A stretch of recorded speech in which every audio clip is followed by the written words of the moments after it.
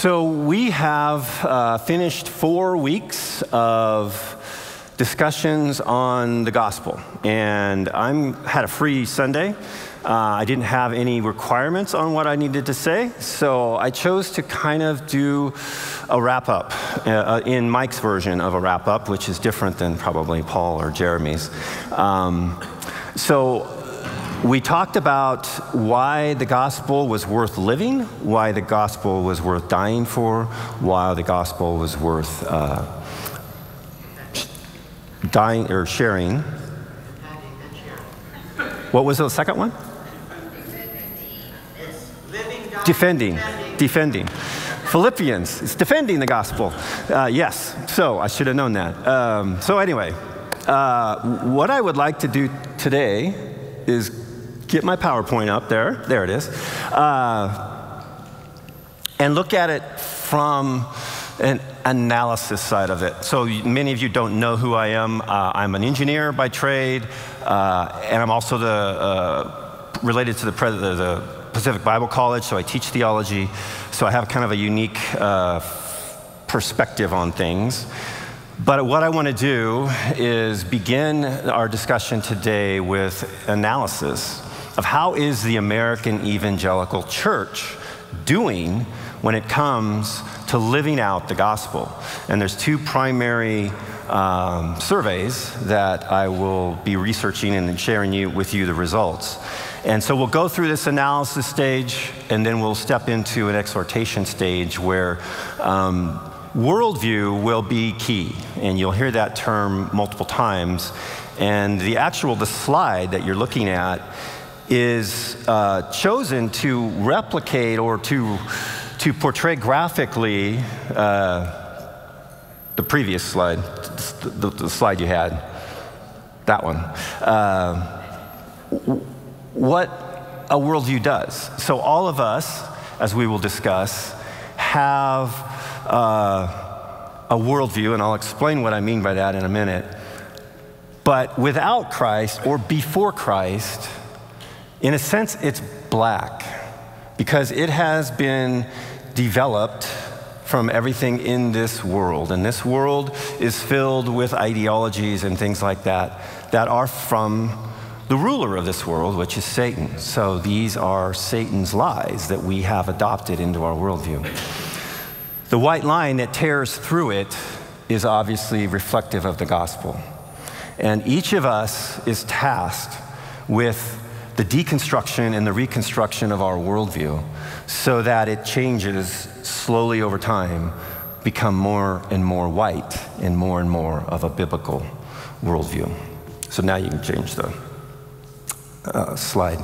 So this may seem like an odd place to start, but I think it is such a stark reminder to us on two fronts. One, that we live in a broken world and we're sinners and this is our destiny. Secondly, as Christians, this is not permanent. This is a transition into a better life. And I want us to remember that theologically as we go through this. This concept of death to life is rooted in the gospel, and it's certainly rooted in, in the life and person of Jesus. It's also rooted in every human culture that has ever existed. Every human culture has their version of a graveyard. We have consistently honored and memorialized our dead, which, if you are familiar with evolution and Darwin theory and all of these anti creation theories, this, would, this exists as a stark reminder that no, there's something more. There is no reason why every human culture that has ever existed would memorialize its dead unless there was some unique divine part of us that knows death is foreign. Death was not what we were created for. We were created for much more. And Jesus has made that way path possible. So let's go ahead and go to the next slide.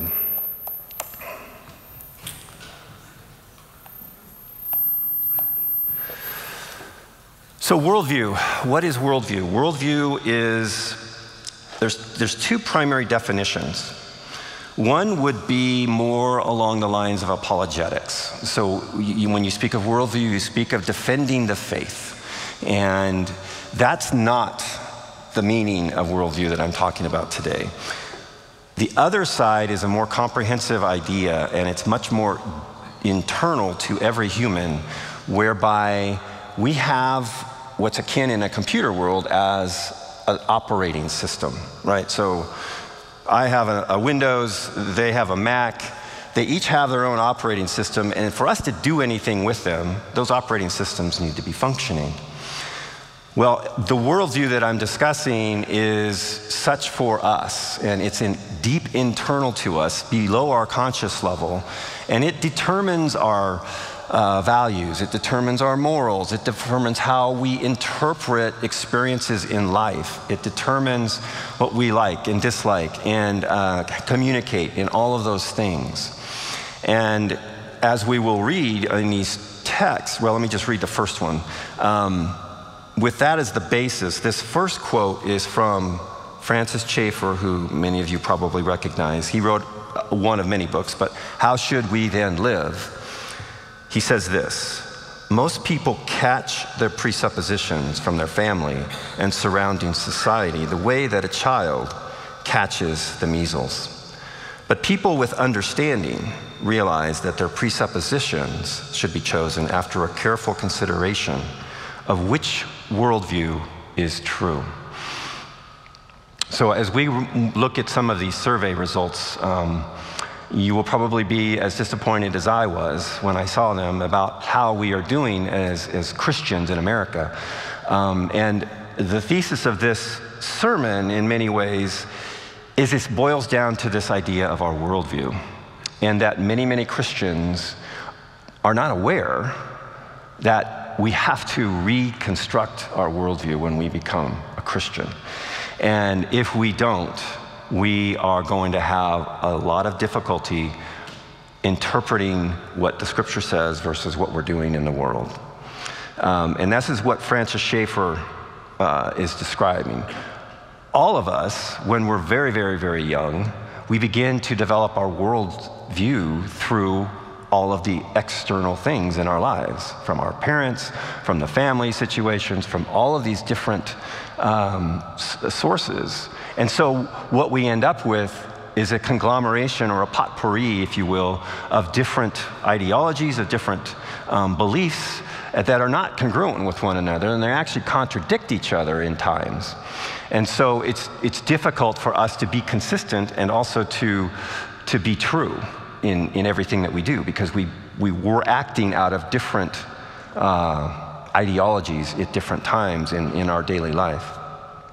The second thing he says, though, is for us today, people with understanding, now he's talking to us, he's talking to Christians now, realize that their presuppositions should be chosen after a careful consideration of which worldview is true. So, those of you that are academics or that, for whatever reason, know these things, there's probably eight to 10 identified academic worldviews. And what I mean by that is these are operating systems, if you will. These are beliefs of ideologies that have been rationalized, that have been tested, that have been processed through logic, and stand firmly on being um, integrated and being coherent. There's eight to ten of those, one of which is the biblical worldview. None of them are what you and I have and none of them are what anybody else has. So those eight are ideal, idealist versions, but the goal is for us as humans, and our destiny will provide us in Christ, where our ideology is perfectly aligned with the will of God, right? That's the end goal. So that our behavior and our thinking and all the things that come out of that are in perfect alignment with the will of God. This is how and why Jesus lived the perfect life. And it is our destiny, and it is part of the gospel message for us to be made, remade, restored in the image of God and made into the image of Christ. This second quote is from a gentleman named George Barna. He is the director of an organization called the, Cent- the Cultural Center Research Center, Cultural Research Center, at uh, the Arizona Christian University. And he is director and uh, author uh, and anal- analyst of one of the surveys that we're going to look at. He says this a biblical worldview is thinking like Jesus. It is a way of making our faith practical to every situation we face each day. A biblical worldview is a way of dealing with the world such that we act like Jesus 24 hours a day. That's pretty straightforward. Um, and it's pretty simple to say. Extremely hard, extremely hard to do. So let's dive into the uh, uh, analysis. So go ahead and go to the next slide. So the biblical worldview, measured by the Center for, uh, or the Cultural Research Center, uh, is this report called the Annual American Worldview Inventory. They do this annually. They've done it now for about five years in a row. And it measures one's worldview through eight categories of beliefs and behaviors. And I'm not going to give a test on this, but I'm going to read through them just to trigger in your mind do I think about these things? Do I think about my, my worldview, myself, my faith against these types of categories? Number one is the Bible, truth, and morals. Number two, faith practices, family and the value of life, God, creation, and history, human character and nature lifestyle, behavior, and relationships, purpose and calling, sin, salvation, and God relationships. And if you want a homework assignment, I'll give you more than one. This is one of them, is to, I'll, this will be uploaded at some point, and you can look at these and meditate on them and say, where are my preconceptions on each of these categories? Are they, what are they? What do I think about them? And then analyze are those preconceptions biblical or not? Analysis, go ahead and go to the next slide. So that report was released last month, and the 2024 national survey shows that 66% of adults consider themselves to be Christians, and of that group, only 6% of the self identified Christians possess a biblical worldview.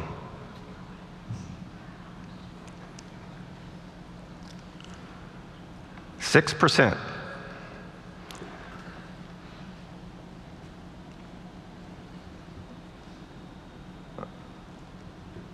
That, that's shocking to me. Um, and, and from, a, from a trend, from the five year trend, it's going down. So it was higher last year. Second quote they come out with most Americans have no idea that they are engaged in philosophical theft or complicit in crafting a worldview that is uniquely theirs. Rather, most adults simply absorb philosophies and practices that feel good, work well, or seem popular in order to help them make choices throughout the day. And this is called syncretism. So, syncretism is this idea where um, you, uh, like you're going to go to the grocery store and you're going to go shopping for groceries and you just go down the aisle and you need this and you need this and you need this and you're following instinct and you're following whatever your mind tells you at that moment. Um, it's a, it produces a disjointed and incoherent group of ideologies, and we all do it. And we're where the world in which we live pushes it on us. It's part of, in my opinion, the strategy of Satan to push this on us. There have never been so many ideologies and so many pathways that Satan has had to blacken our worldview and to, in so doing, keep us from living out a kingdom life. Next slide. So then, why don't more Christians have a biblical worldview? Well, I, these are my thoughts. Um, you may come up with five different ones, but these are my five. Number one, it's all about Mike. It, we rule ourselves.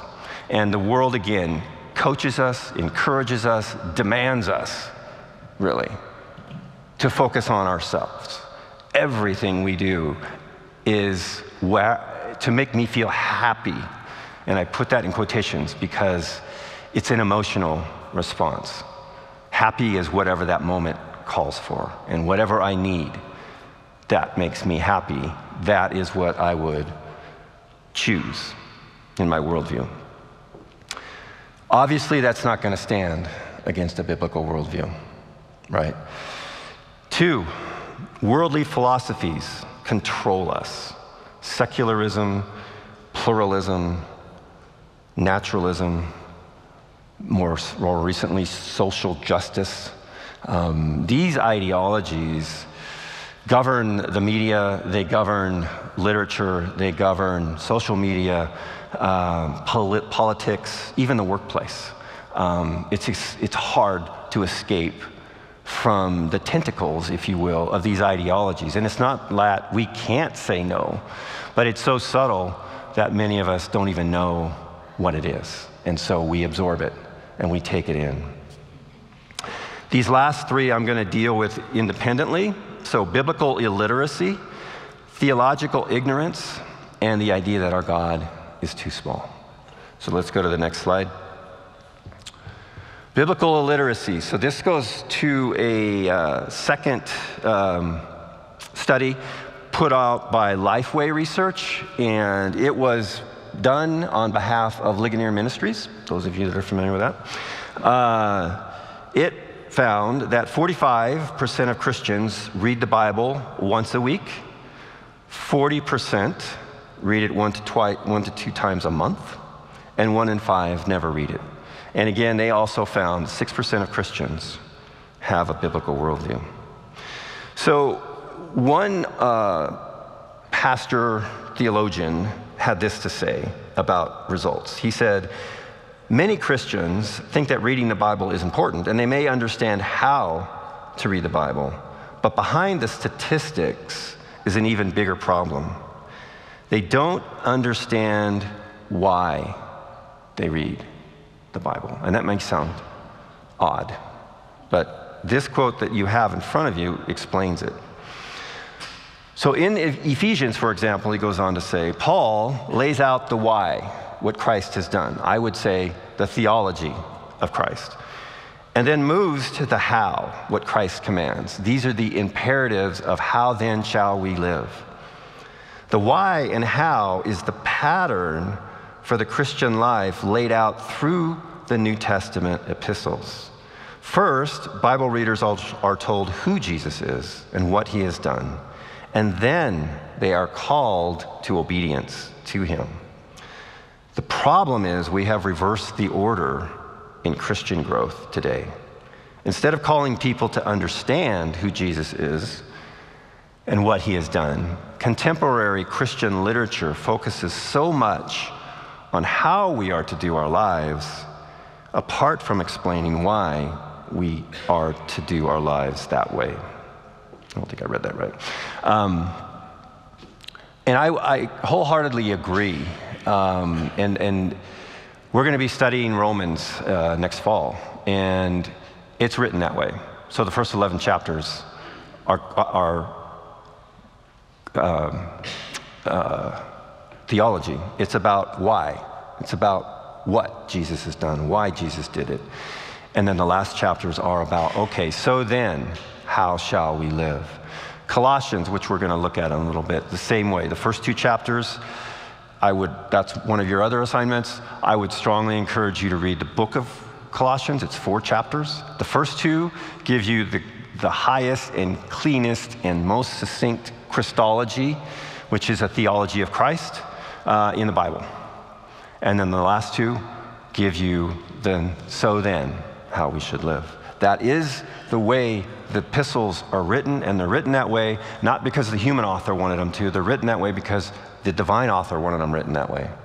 And he's the one that created us, and he knows how our operating systems need to work. So I believe strongly that we need to get back to knowing the why of what we are to do. Next slide. Theological ignorance. Same study. One in five Christians believe there are multiple ways to heaven. 59% of Christians believe the Holy Spirit is a force, not a person. 6% have a biblical word. It's the last time I'll say it. Four, 46% of evangelicals believe people are basically good. Five, 42% believe God accepts worship of all religions.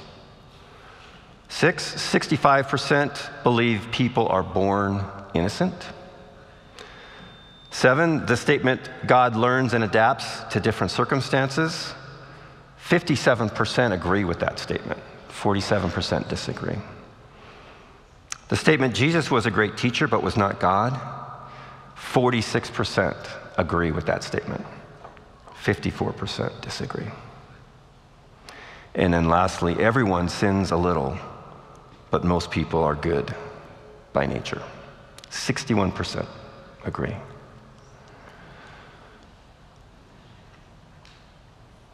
Let that sink in for a little bit.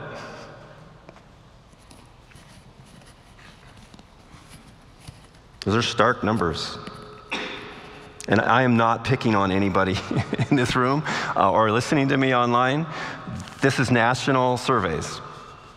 It's a state of the national evangelical movement. What do they consider? These are the four criteria that the respondents strongly agree with to be considered a Christian. Number one, the Bible is the highest authority for what I believe.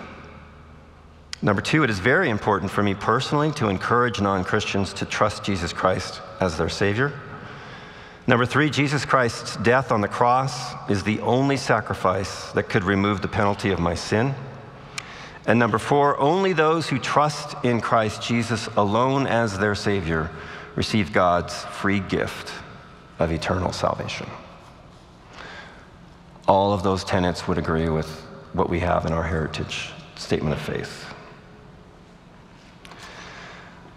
Last of the five of why we don't have good worldviews is our God is too small. And many of you would, are familiar with this classic written by J.B. Phillips Your God is Too Small. This is a book that's 40 or 50 years old.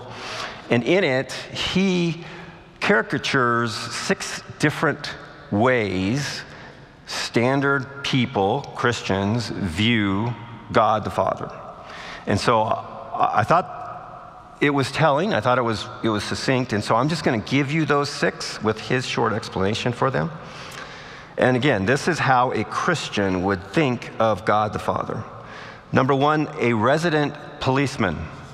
People see God only through their conscience, their view of right and wrong. So when they're faced with a moral decision, that is when they would think of God the Father. Two, the parental hangover they would, uh, a person would strongly correlate their earthly father's traits to the heavenly father's traits. Three, the grand old man. The perception that we have learned for those of us that were raised in the church as a little child, we still carry those same ideas and think of God the Father in the same childish ways. Four, meek and mild this gross mischaracterization of, of Jesus and also of God, it still permeates Christianity. Um, five, the heavenly bosom. So here, the way it's described, escapist understanding that we should be free from life's troubles, sufferings, and pain. Um, I'll put that in my own words. Basically, our world tells us we shouldn't suffer at all. Even the tiniest little bit of discomfort, we need to remedy, we need to fix, we need to, to do something to resolve it. And yet, all of us in this room know God uses suffering. He sometimes puts us in suffering. Why? To discipline us, to exercise love, to correct us, to grow and mature us. So he's not always going to pick us up in his arms and hold us against his bosom and comfort us, which is what this view is. And then, six, a managing director. Here, we view God as a magnified human. So we uh, each personally have traits of a person that we think are excellent and we want to emulate. And so God is that. He's just better at it. He's higher than we are, right? So there's truth in all six of these, but there's a lot of falseness in all of them as well. And so my summary statement is number seven all of us have warped views of God. Only through the Word and Spirit and church can we deconstruct and reconstruct a correct view. And if we don't have a correct view of God, we're not going to have a correct view of the world or our worldview. So that ends the analysis section of the teaching. It's a wake up call. Uh, it's, it's not the first wake up call the church has had. We have them regularly. Um, but what, what where we're moving forward to now is trying to address how can we be exhorted? What can we do? How then shall we live? And so the first thing I want to do is approach this issue right here. Your God is too small. So let's go ahead and go to the next slide. So, a few of you may recognize this, most of you probably won't. This is a 3D map of the known universe. Um, it is currently 13.8 billion light years across, and it is expanding. In that map, there is an estimated 2 trillion galaxies. God is bigger than that universe.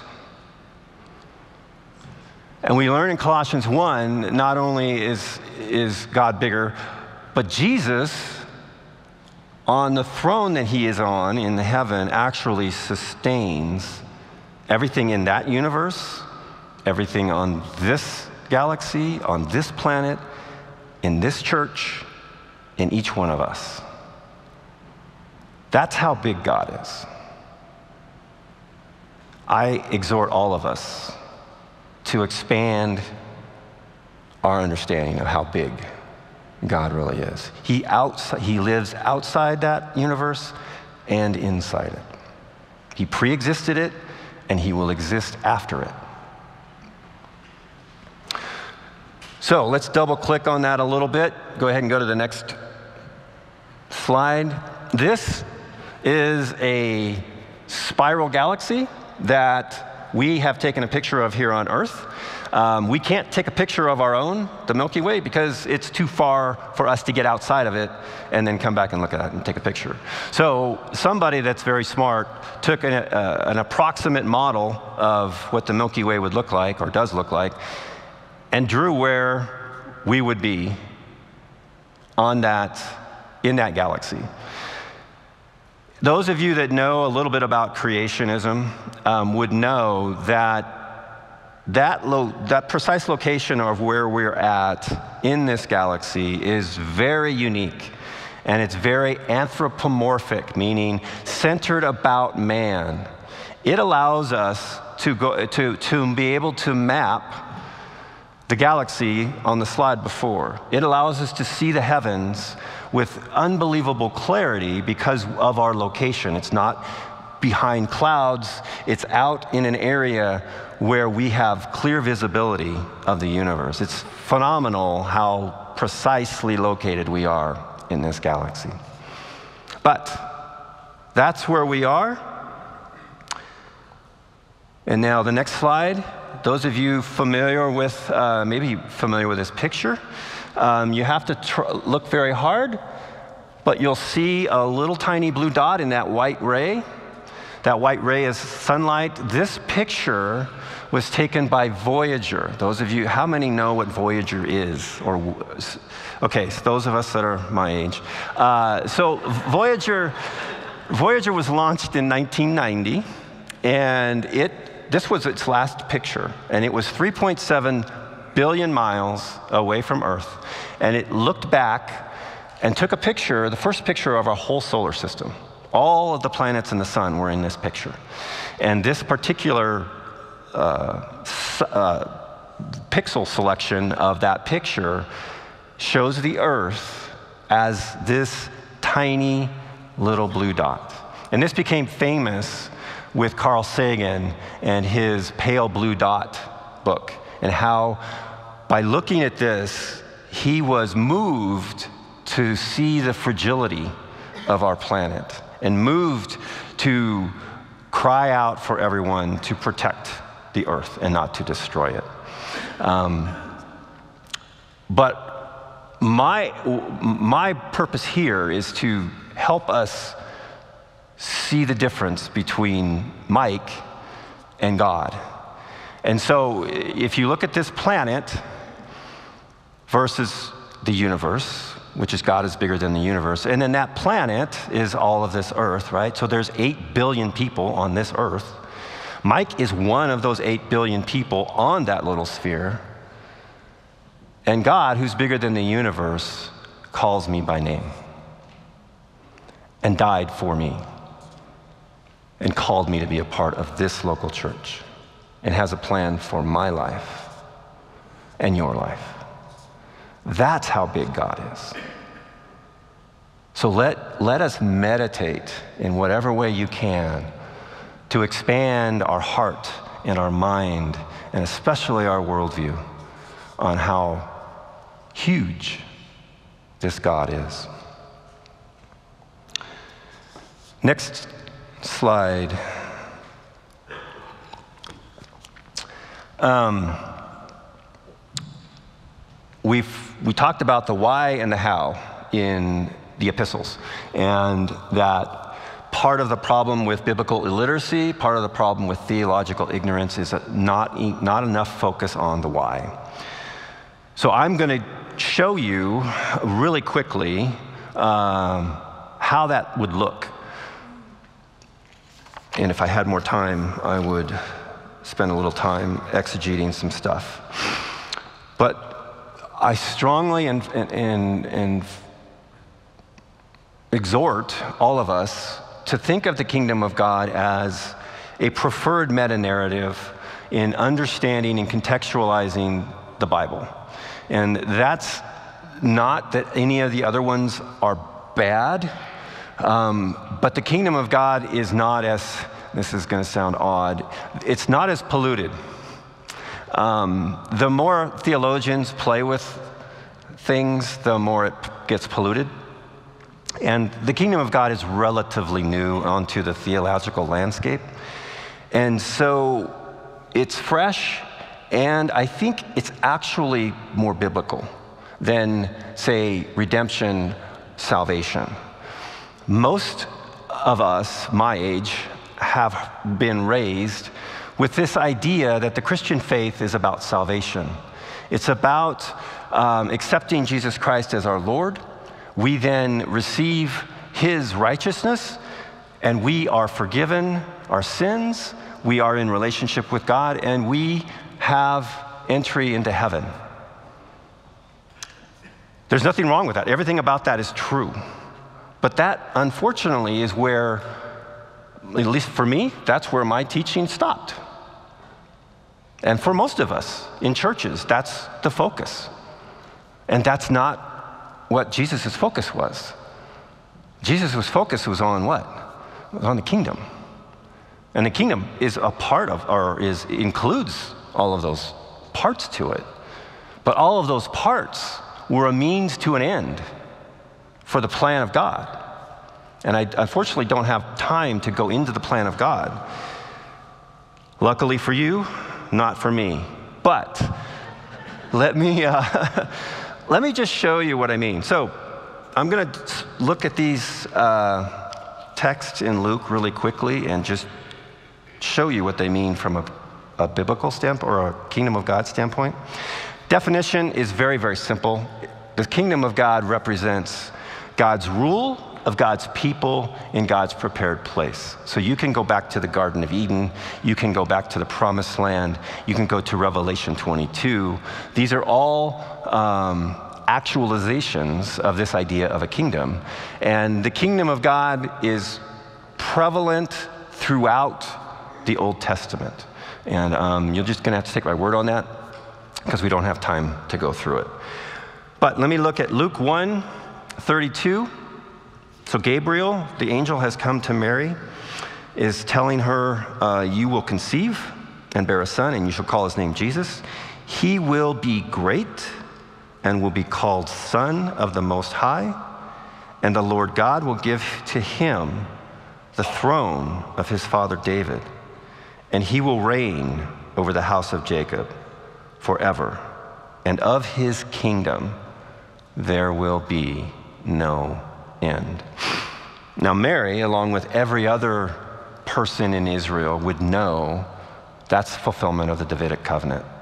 Everyone like Mary in Israel would know this is the Messiah.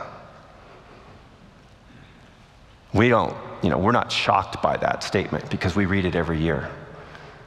Mary was shocked. A, there was a high fervor among uh, Israel for the coming of the Messiah. They had Daniel, they could count the, the days. I mean, they had it mapped out. They knew the time was near. So, this was a sign that the kingdom of God was coming. And it wasn't that the kingdom hadn't been in existence before, it's just they didn't have access to the kingdom. What happened in the Garden of Eden? They got kicked out. They no longer had access to the kingdom.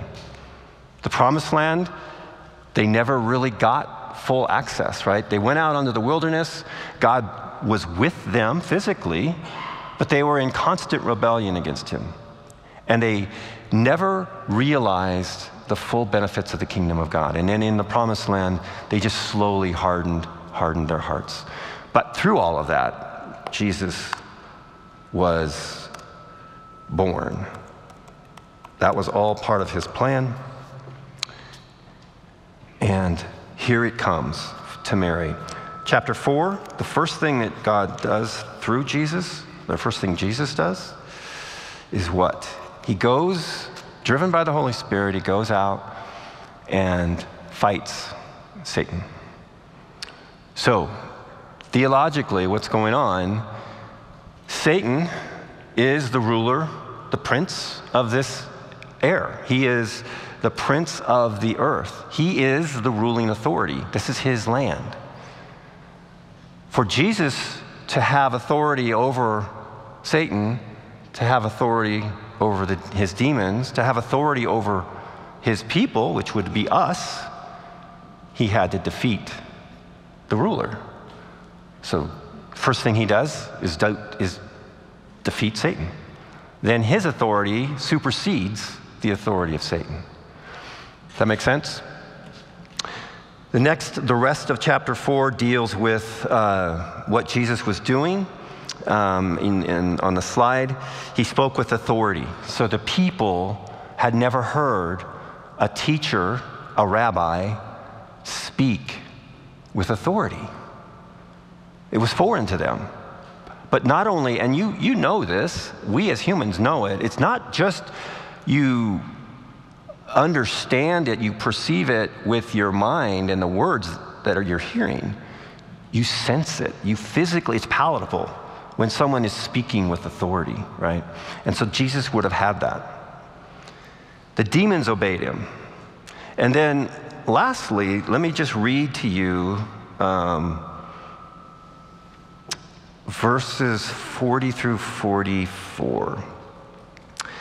This, he, just, he just healed Simon's mother in law. Now, when the sun was setting, all those who had any who were sick with various diseases brought them to him, and he laid his hands on every one of them and healed them. And demons also came out of many, crying, You are the Son of God. But he rebuked them and would not allow them to speak, because they knew that he was the Christ. And when it was day, he departed. So he worked from sundown to sunup, healing everybody. The people sought him out and came to him and, and would have kept him from leaving.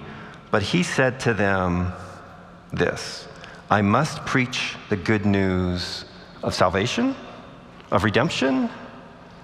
No, the good news of the kingdom of God to the other towns as well.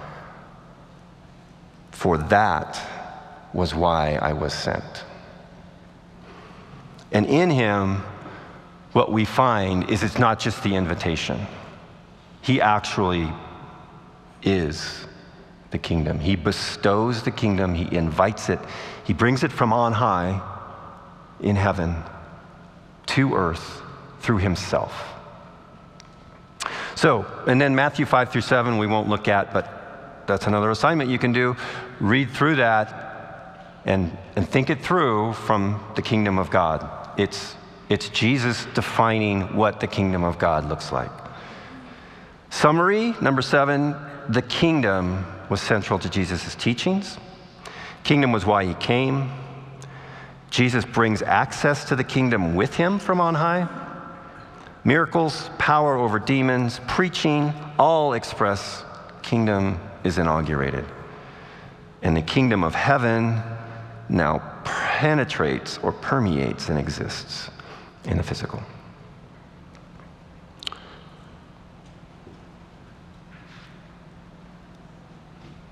Oops. I lost my place. Okay, next slide. So, Kingdom of God summary, a, a couple of quotes here. One from Malcolm Muggeridge. Jesus' good news then was that the kingdom of God had come and that he, Jesus, was its herald and expounder to men. More than that, in some special, mysterious way, he was the kingdom. And to amplify that a little bit, the, the kingdom is about authority. And we in America and in Southern Oregon are anti authority. Um, and yet, you, you have to submit and understand God's authoritative profile and, and how He created creation with levels of authority to understand and have a biblical worldview. This next quote is from uh, Dallas Willard in his book Divine Conspiracy. When we submit what and where we are to God, our rule or dominion increases. In Jesus' words from the parable of the talents, our master says, Well done. You were faithful with a few things, and I will put you in charge of many things. Share what your Lord enjoys. So, what, what uh, Willard is saying um, prior to this, each one of us, he says, and I would concur, we are given a certain dominion. We have a certain part of our life that we get to say things over. So I have this little portion of my life where I'm the king or you're the queen, right? We all have them. And we get to decide what am I going to eat? Where am I going to go today? When am I going to get up? All of those types of decisions we make without even thinking. But it's our little domain. Unfortunately, we all also want bigger and bigger domains. We want other people's domains. We want to rule bigger things.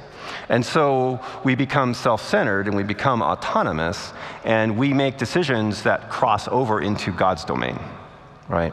So when we can submit our small little domain, the, the, the humanness of Mike, and I can submit that to the Father's will and submit that to his reign, then this parable takes place, and God actually increases my reign because then he can trust me with a larger portion of his reign. A couple other comments on this from Dallas Willard. The gospel of the kingdom the good news of the kingdom is the realm of God's active goodness informing us in Christ as we follow him. The kingdom of God is grand, majestic, and full of beauty. We come to understand the kingdom by repenting and simply believing, or I'm sorry, simply becoming apprentices of Jesus in his kingdom. But this apprenticeship model, we call it mentoring, we call it discipleship, doesn't exist outside of the kingdom of God. And then lastly, this to enter into the fullness of human life as God intended it, and thus become the kind of person we would expect from looking at Jesus and his teachings, requires us to live our lives in the kingdom of God. Living in the kingdom of God is an active pursuit, it's not a passive gift. Many Christians think it's a passive gift like salvation. We don't do anything for salvation, it's all done for us, right? This is not. The, the, the, the verbs that are used, the imperatives, are active, personal action. We are too, and we'll look at this briefly in Colossians. Next slide. So let's quickly look at Colossians. And if you want to turn there, um, you can go to Colossians 3. You don't need to. I'm not going to read all of this, but uh, I do want to highlight this worldview in correlation with what our identity is. We each all are familiar with identity, self identity. Um, we all have one. Um, it changes, you know, but one of the things we have to remember theologically is who we are in Christ. And if we don't think theologically in our daily lives, we, we, we don't live in the identity that we are in Christ. And if you want to know who you are in Christ, read Colossians. And, and specifically, um, again, chapters 1 through 2 will tell you what he has done and why. And then chapters 3 and 4 will tell you, then how shall you live. But the transition is what I want to read. So at the beginning of chapter 3, it transitions. If then you have been raised with Christ, seek the things that are above, where Christ is, seated at the right hand of God. Set your minds on things that are above, not on the things that are on earth. For you have died, and your life is hidden with Christ in God. When Christ, who is your life, appears, then you also will appear with him in glory. So, on the slide, I summarize this by saying, We have died with Christ and been raised with him. We have a supernatural union with Christ. We are therefore exhorted to set our minds on the things above, not on the things of earth. And if you're like me, you can't go very long in this world without having some level of an interruption from the world, right? Whether it's my wife or work, or I'm just kidding, Cindy. Uh, we're bombarded, uh, our phones, um, with interruptions in our life. We have to be disciplined and set time aside to reflect and to set our minds on the things above. We've got to feed that part of ourself that is being molded and shaped into the image of Christ. And that includes our worldview. If we don't set that time aside, that growth, that transformation won't work. The next section that Paul goes into then is verse 5 Put to death, therefore, what is earthly in you sexual immorality, impurity, passion, evil desire, covetousness, what, which is idolatry. On account of these, the wrath of God is coming. Verse 8 But now you must put them all away anger, wrath, malice, slander, obscene talk from your mouth. Do not lie to one another, seeing that you have put off the old self with its practices and have put on the new self, which is being renewed in knowledge after the image of its creator. These verbs, these imperatives are on us. We need to take off the old self and put on the new self. We, through the work of Christ, Christ, part of his cosmic scope is he has created a new humanity. We are all born into the family of Adam. And through accepting Jesus Christ as our Lord, or using the way Paul said it here, if you then have been raised with Christ, which we're going to celebrate here shortly, if then you have been raised, you are now a new creation. You are an adopted son and daughter of God, and you are free from all of the entanglements that we have in Adam and in Satan. But we have to take that off. And then we have to put on the new Adam or, the, or, or uh, Jesus' image, right? We take off the image of Adam, we take off our old stuff, and we put on the kingdom. We put on the values, the ethics, the face of Jesus. We dress like Jesus. That's on us to do. And then verses 13 uh, or 12 put on then as God's chosen ones, holy and beloved, compassionate hearts, kindness, humility, meekness, and patience, bearing with one another, and if one has a complaint against another, forgiving each other as the Lord has forgiven you. So you must also forgive. And above all these, put on love, which binds everything together in perfect harmony. And let the peace of Christ rule in your hearts to which indeed you were called in one body, and be thankful. Those are the attributes, those are the attitudes. That's the disposition of one walking with Jesus. So, I kind of covered all of those things. Number five here God joined us to Jesus. So, when Jesus died, he went to hell, or he went to death he was raised, he was resurrected, he ascended, he now reigns, and we have followed him in that path. We now are seated with him in the heavenlies. So we share in his death, his burial, his resurrection, ascension, his righteousness, and his inheritance.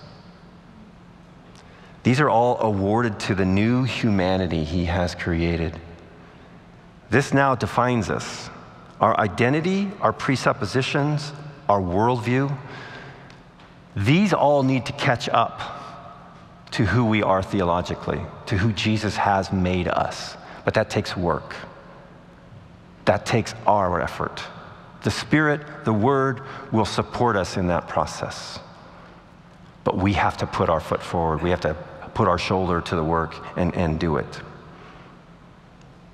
So then, how shall we live? Well, we just read a really good summary from Paul, but let me just add a couple points, and I'll be quick. Number one, develop a regular time for gospel reflection, evaluating your life against the kingdom. So you need to know what the kingdom's ethics and values are. You need to be disciplined to set aside regular time, but assess yourself.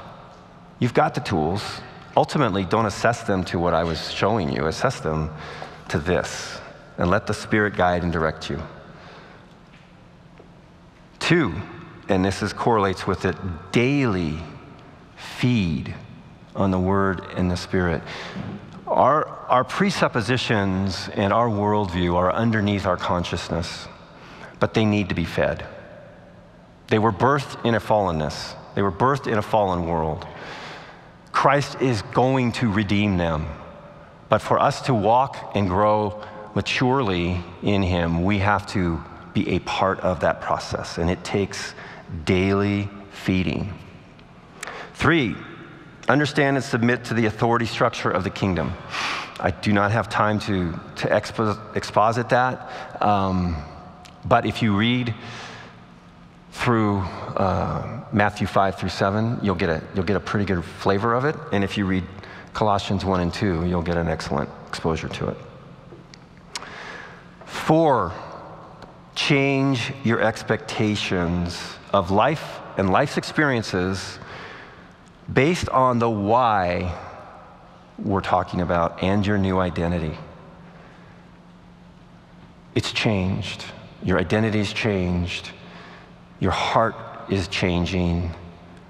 So your values, your attitudes, your behaviors, your thoughts are all changing. You need to in, be, be strategic and intentional about promoting that change and change your expectations about everything about God, about your spouse, about your family, about your work, about church, about yourself. Everything is changed when it's in, put against the light of the gospel and the kingdom. And then finally, five, develop a disciplined life. And I've got uh, six different ways here. A, Philippians 4 8. Change things in your life to pursue things that are true, honorable, just, pure, lovely, commendable, excellent, and worthy of praise. Cut out what isn't. And if you don't know, ask somebody what those things are or, or use some of the Bible tools that we have. Um, that's what you need to focus on. That's what you need to fill your life with. Not the other things, not the things of this world. B, rejoice in the Lord always. And again, I say rejoice. Philippians 4 4. And this is a command, and it's not that we rejoice when we're happy.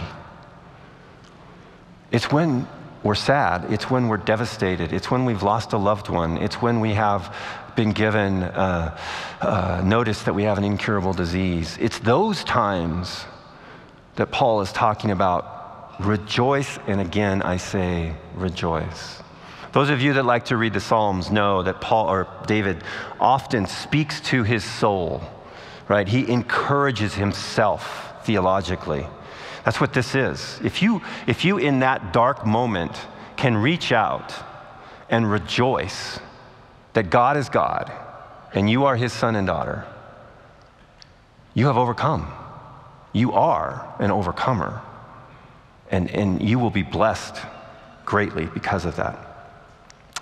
C, discipline your body and mind, uh, whether it's fasting, whether it's exercising, whether it's changing what you take in from entertainment or social media. You, you, it's garbage in, garbage out. It's that simple. And all of our senses, all of our things are related. We are a holistic creation. We want to take care of our whole thing.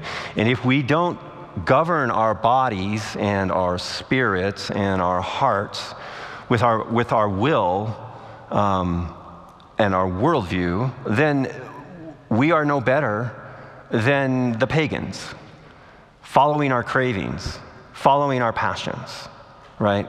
And, and this is Paul's point here. We have to take control I, Mike, have to take control of Mike, which includes all of that, and commit that, submit that to the kingdom. D, develop a comprehensive theology. I think I've spoke about that enough. E, be active at church. So I'm a f- strong believer that the local church is the outpost of the kingdom of God in very specific space slash time domains. And so all over the world, there's, there's churches like Heritage. And God has placed them there, and God sustains them. And I, I view Revelation 1, where, where John has the vision of Jesus and the, and the uh, lampstand, where he is sustaining those churches. Um, I, as, as an individual believer and my family, need to be connected to an outpost. We are enemies in a foreign land. We're, we're behind the enemy lines, if you will. We need community, we need support to make it, to grow and mature and be effective living our lives in the kingdom. And then lastly, join a small group. Be a part of mentoring and being mentored. It is a phenomenal growth opportunity where the Holy Spirit and the Word transform people before each other's eyes, and they live life together, and they support one another. And I know many of you are a part of that. So uh, lean into community. Summing all this up, I want to close with a quote from C.S. Lewis's Mere Christianity. So he calls this dressing up like Christ, i.e., being made into the image of Christ. He says this The real Son of God is at your side. He is beginning to turn you into the same kind of thing as himself. He is beginning, so to speak, to inject his kind of life and thought into you, beginning to turn the tin soldier into a live man. The part of you that doesn't, does not like it is the part that is still tin. We need to be able to differentiate the tin from the living and continue to grow the living and shrink the tin. Let me close in prayer. Father, this is uh, a lot of information. Um, I just pray that your Spirit help each one of us individually take away from it what you want and um, apply it in ways that are honorable and um, praiseworthy and uh, glory bringing to our King, uh, Jesus the Christ, your Son and our Lord. In Jesus' name, amen.